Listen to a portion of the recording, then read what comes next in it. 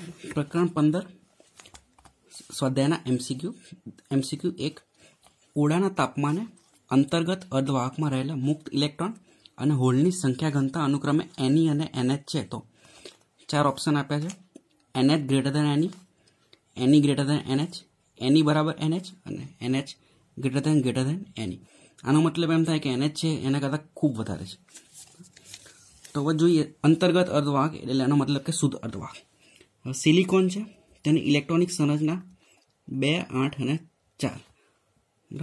One S two two S two two P six, three S two અને three પી તો જે સૌથી બહારની કક્ષાના એટલે કે આજે છે ચાર, ત્રીજી કક્ષાના, તે છે વેલેન્સ ઇલેક્ટ્રોન. બરાબર?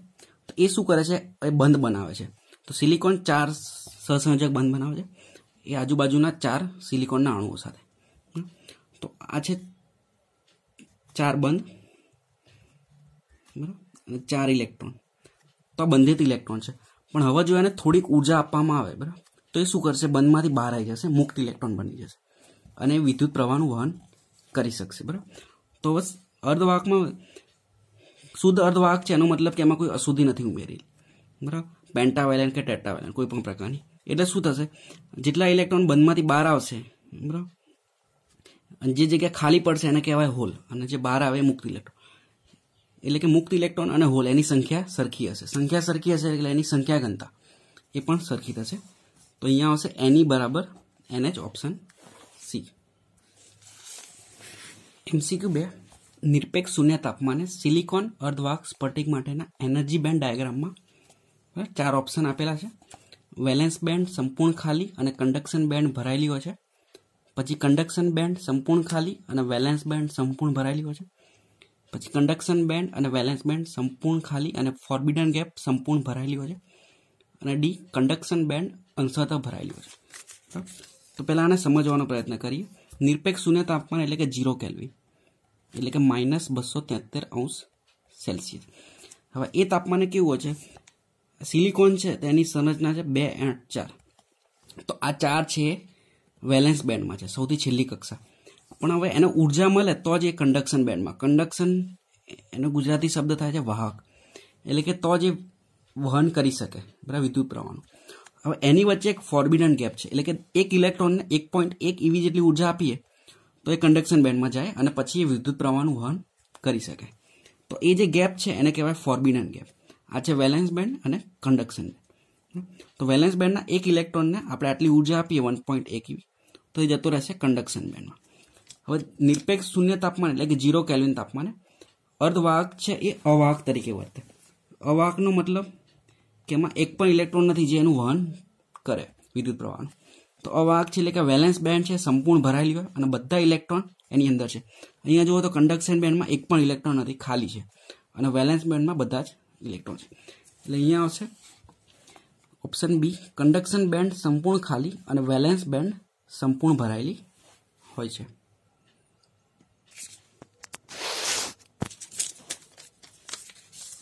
એમસીક્યુ ત્રણ, વાહક, અર્ધવાહક અને અવાહક પદાર્થોની બેન્ડ ગેપ અનુક્રમે ઇજી વન ઇજી ટુ અને ઇજી થ્રી છે. આ ત્રણેય બેન્ડ ગેપ વચ્ચેનો સંબંધ.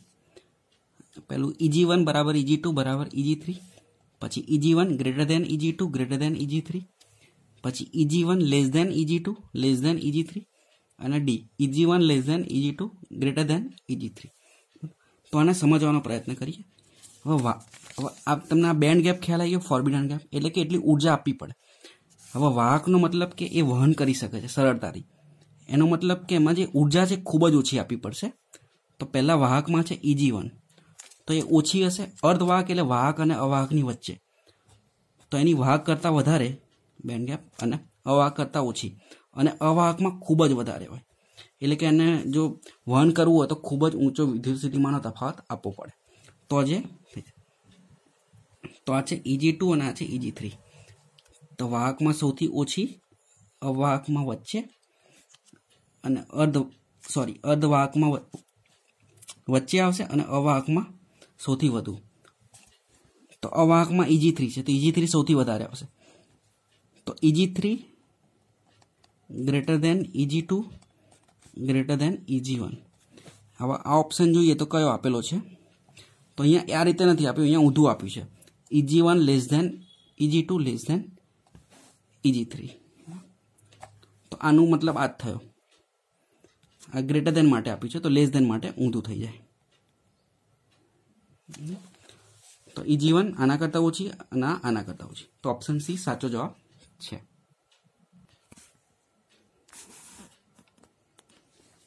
એમસીક્યુ ચાર જર્મેનિયમ જી અર્ધવાહકની વાહકતા ક્યારે ઘટે? વાહકતા ઘટે એનો મતલબ કે એની જે વિદ્યુત પ્રવાહનું વહન કરવાની ક્ષમતા છે, ઘટી જાય. તો પહેલું છે તેમાં ડોનાર અશુદ્ધિ ઉમેરતા. ડોનાર અશુદ્ધિ શું કરશે? એ ડોનેટ કરશે ઇલેક્ટ્રોન તો એ બનાવશે એન ટાઈપ સેમિકન્ડક્ટર તો એમાં શું થાય કે એમાં તો ફાયદો થાય ઉલટાનો વાહકતા વધી જાય. એટલે આપણને નહીં આવે. એક્સેપ્ટર અશુદ્ધિ ઉમેરવામાં આવે. તો એ બની જાય પી ટાઈપ બરાબર તેમાં હોલ વધી જાય. આમાં ઇલેક્ટ્રોન વધી જાય. એટલે કે આ બંને કિસ્સામાં નહીં આવે. કારણ કે એના કારણે વાહકતા વધે છે.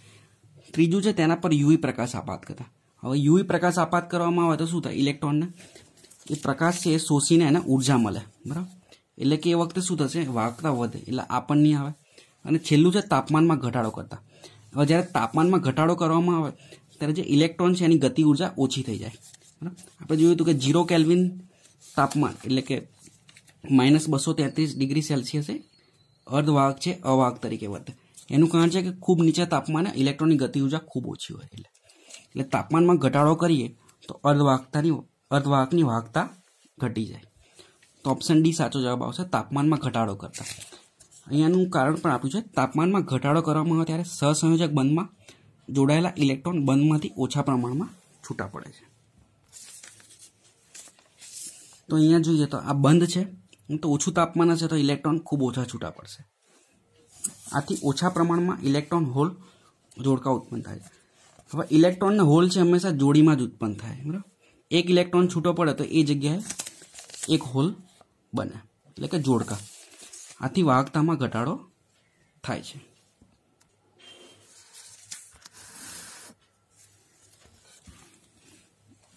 એમસીક્યુ પાંચ, પ્રકાશને પારખવા કરવા માટે એ ફોટો ડાયોડને ફોરવર્ડ બાયસમાં વાપરવો જોઈએ. બી ફોટો ડાયોડને રિવર્સ બાયસમાં વાપરવો જોઈએ. સી એલઈડીને ફોરવર્ડ બાયસમાં વાપરવી જોઈએ. અને ડી એલઈડીને રિવર્સ બાયસમાં વાપરવી જોઈએ. હવે પ્રકાશને પારખવો છે. હવે એલઈડી શું છે? એલઈડી આપણે ટીવી આવે છે, બરાબર? તો એલઈડીમાં એક ડાયોડ હોય છે પીએન ડાયોડ હવે એમાં શું હોય છે કે જ્યારે એને વિદ્યુત પ્રવાહ આપવામાં આવે બેટરી સાથે જોડવામાં આવે, તો એ શું કરશે? લાઇટ ઉત્પન્ન કરે પ્રકાશ. આપણે અહીંયા શું જોઈએ છે? પ્રકાશને પારખવા માટે. એટલે આ એલઈડી વાળા બંને આવશે, નહીં કારણ કે અહીંયા ખાલી પ્રકાશ ઉત્પન્ન થાય. હવે ફોટો ડાયડને સમજવા માટે આપણે આ ફોટો ડાયડ આપ્યો પેલો છે?